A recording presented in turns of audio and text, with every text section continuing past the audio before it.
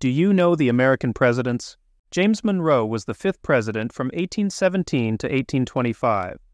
Monroe was a member of the Democratic Republican Party. He was wounded in battle during the Revolutionary War. As ambassador to France, he negotiated the Louisiana Purchase.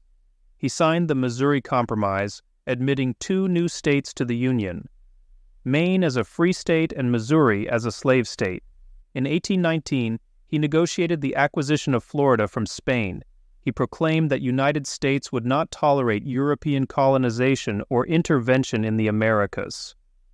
This was later known as the Monroe Doctrine. In his farewell speech, Monroe urged citizens to cherish the Union as the main pillar of liberty and happiness. Be sure to like, subscribe, and join us on Patreon for more.